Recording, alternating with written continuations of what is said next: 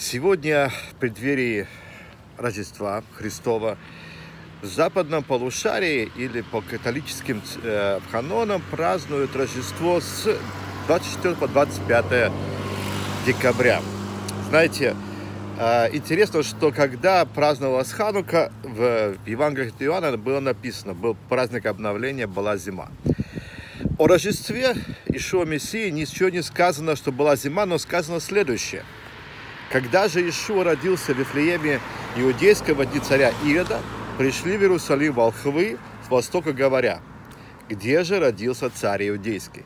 Ибо мы видели звезду его на востоке и пришли поклониться ему. Услышав это, Ирод царь встревожился и весь Иерусалим с ним. И собрав всех первосвященников и книжников народных, спрашивал у них, где должно родиться Мессии.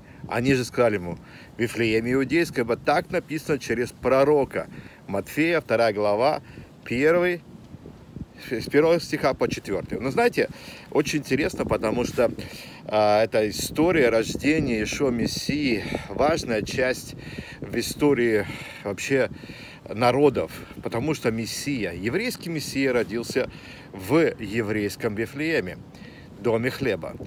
Он был рожден для того, чтобы нести миссию в этот мир и чтобы умереть за весь мир, но не только за Израиль. Он родился в Израиле, чтобы быть царем. Он родился, чтобы восторжествовать. И знаете, его имя приносит сегодня свободу. Когда ангел, э, архангел обратился к Мириам, сказал, когда родится этот сын, назовешь ему и дашь ему имя Ишуа, Спаситель, спасение. Вы знаете, также в это место Писания, которое цитируется в Матфея, э, в Мессорецком э, кодексе, они э, немножко раскрывают полноту его значения. Ты Вифлеем, это Михея пишет, ты Вифлеем, мал ли ты между тысячами иудеями? Из тебя произойдет мне тот, который должен быть владыкой в Израиле, у которого рождение из начала одней вечных. Вы знаете, а это послание очень важно, потому что Мессия и его предназначение не только было эм, мессианской, как бы освободительной части, что он еще был от дней вечных. Интересным является факт, что в своем комментарии на книгу Михея Раши, Рабейна Шлома Ицах, пишет о том, что слова тот, кто будет царем в Израиле, относится именно к Мессии, к сыну Давида. И э, это очень интересная вещь. Но следующее, он комментирует фразу происхождения от начала дней вечных. Он говорит о том, что э, Псалом 72 э, или 71 в нашем э, э, дальнем переводе, сильно дальнем переводе, но все равно э, в 72-м псалме, 17 стихе говорится, что в оригинале «Да будет имя его веки прежде, нежели было сотворено солнце, имя его Инейну». Согласно еврейской традиции, Енун является именем Мессии.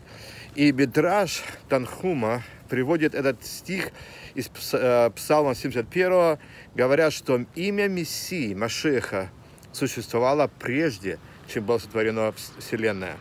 И сегодня мое послание для всех.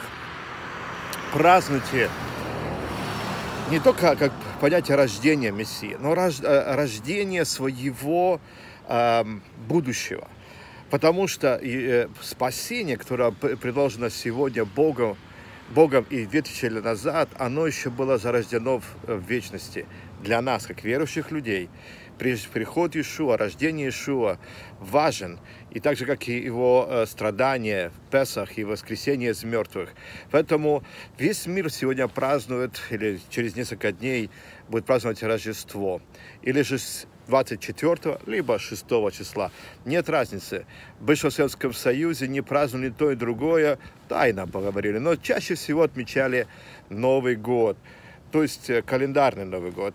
Так что вас хочу поздравить с Рождеством еврейского Мессии, царя иудейского для всех верующих христиан. И благодарю вас за то, что вы празднуете это рождение, что вы сохраняете на память о том, что Мессия Ишуа родился для того, чтобы умереть потом, взять на себя наши грехи и сделать нас свободными, примирить нас с Богом.